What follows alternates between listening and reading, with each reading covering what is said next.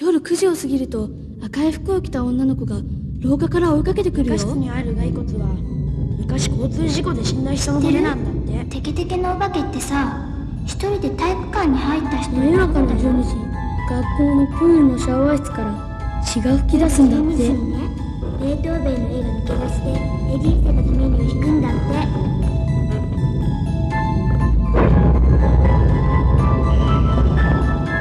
今は使われていない急行車先生と6人の生徒が閉じ込められた時恐怖の一夜が始まった。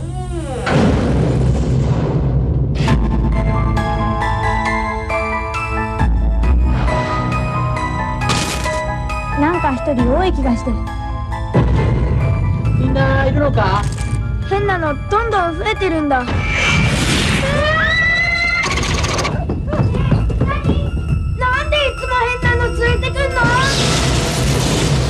何なんだよ。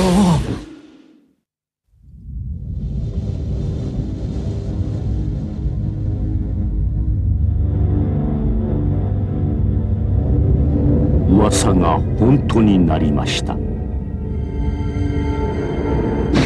学校の階段。君の学校は大丈夫か？